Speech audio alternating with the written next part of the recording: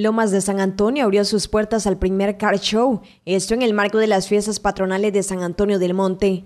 Al lugar llegaron los mejores autos para hacer su respectiva presentación. Es un evento de competencia de exhibición de vehículos restaurados, modificados y custom, ¿verdad? como uno lo, lo, prepara en base a su comodidad y presentación.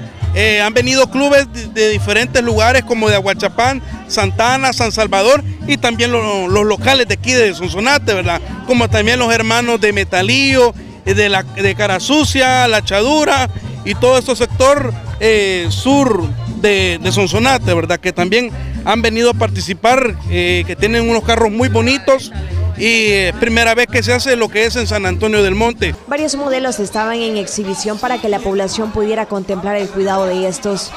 Estos eventos son de índole familiar, de una convivencia ciudadana en el cual cada competidor, ¿verdad? Trae su vehículo como lo ha trabajado, le ha dado esmero y su pasatiempo, pues, en, poder presentar lo que es una buena gama de su vehículo, ¿verdad? El cuidado y la dedicación que tienen los autos que estaban en exhibición es grande. En cada competencia esto recorre millas para llegar al objetivo. Automovilismo Extremo El Salvador se acercó a la alcaldía municipal para apoyarlos en hacer un carchón en nuestras festividades patronales. El señor alcalde municipal, don Teodoro Pineda, y el comité de festejos patronales tomó a bien este año eh, hacer dos actividades nuevas.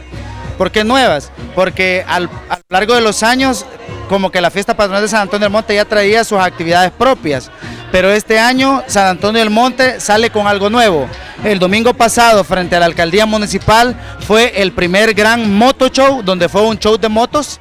Y ahora este domingo, que es el cierre de fiestas patronales, porque es el último día de las fiestas, se tiene lo que es este car show, organizado por Automovilismo Extremo El Salvador y apoyado por el señor alcalde municipal, doctor Pineda, y el comité de festejos patronales. Cuidar un auto clásico hasta la fecha no es una tarea fácil, sin embargo muchos le dan dedicación y sobre todo inversión para poder llegar a un car show a exhibir su mejor auto. Briseida Morante, BS Noticias.